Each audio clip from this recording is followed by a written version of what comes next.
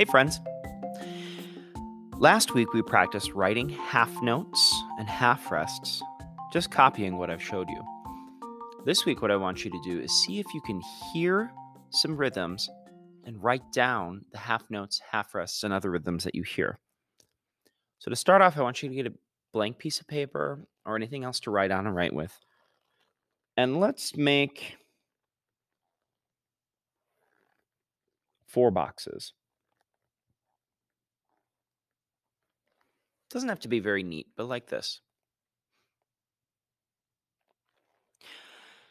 And all I'll do is I'm going to say a rhythm that has two, four, six, eight beats. An eight beat rhythm. Each of these will have two beats in them. And I want you to write them down in the box.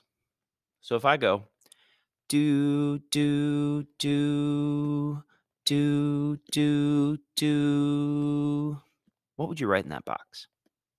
Here it is again do do do do do do so i'm hearing do do do do do do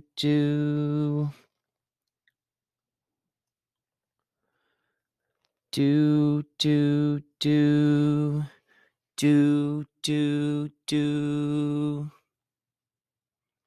all right. Let's try another one.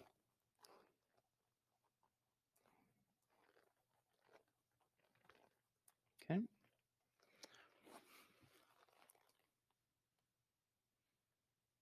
Maybe I hear a rhythm that sounds like this.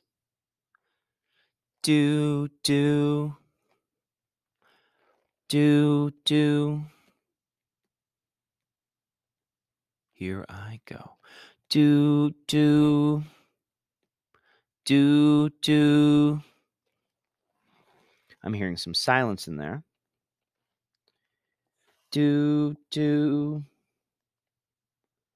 do, do.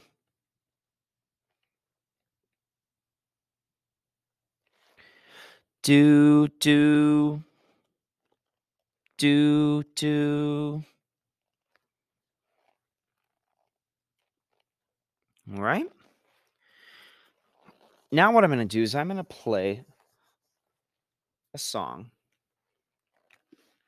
And what you're going to do is you're going to challenge yourself, okay? You're going to challenge yourself to listen to the bass metallophone.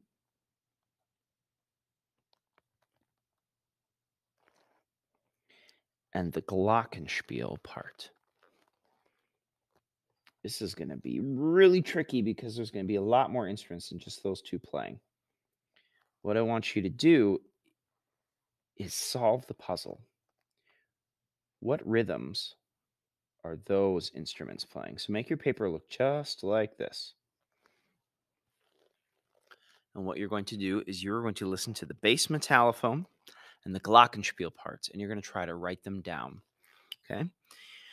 Once you have that, you can take a picture of it and send it to me so I can see if you got it right. Okay. So I'm going to go ahead and play the music. And then when the song is done, go ahead and try to decode that rhythm.